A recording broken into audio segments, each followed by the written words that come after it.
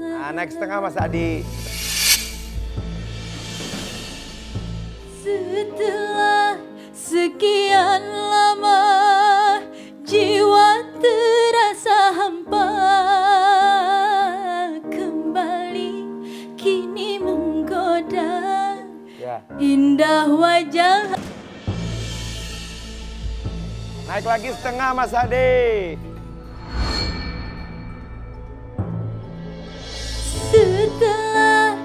sekian lama